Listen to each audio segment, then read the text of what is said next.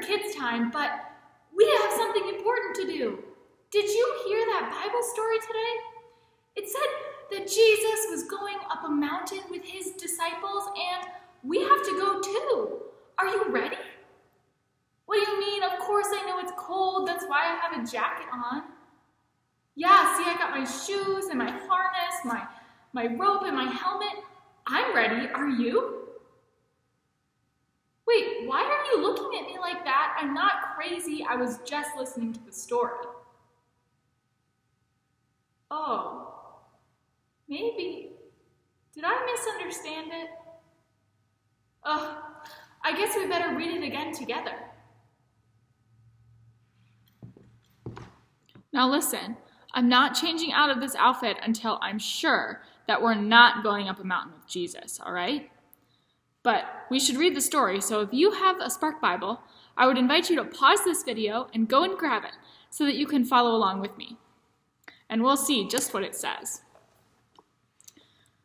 This is a story called The Transfiguration. Peter, James, and John were very excited. They were climbing a mountain with Jesus. See, I told you. Higher and higher they climbed, right to the top. Then they noticed something different about Jesus. Jesus' face and clothes were bright and shiny like the sun. Moses and the prophet Elijah were standing with Jesus talking about God's promise to save the world. Peter couldn't believe his eyes. Suddenly, a cloud covered the mountain. A voice said, This is my son. Listen to him. The voice was God. Peter, James, and John covered their faces. Then Jesus touched them. They peeked up. Everything was the same as it was before, even Jesus.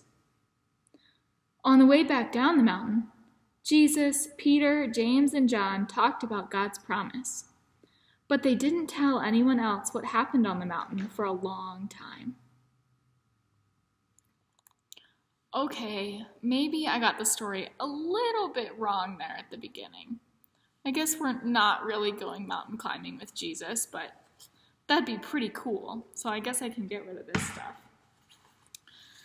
Well, you know what is really amazing about that story?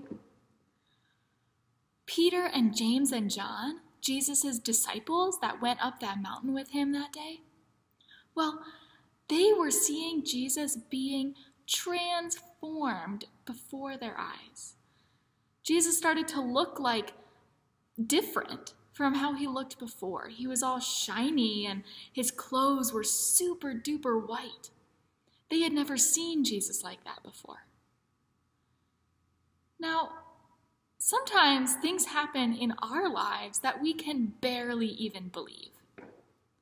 Like maybe someone that you really didn't like ends up becoming one of your best friends. That's pretty hard to believe. How does that even happen? Or maybe you feel love in your heart for someone that you don't even know. How does that even happen?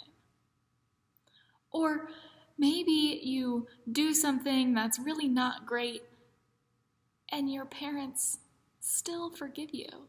They still love you. That's amazing. You know, we don't see Jesus transform like this in our everyday life, but sometimes things do happen that we just can't explain. And that doesn't make them any less real. So, this story changed the lives of the disciples. They never saw Jesus the same again. They knew that he was not not just a human, but that he was God. And so be on the lookout in your life.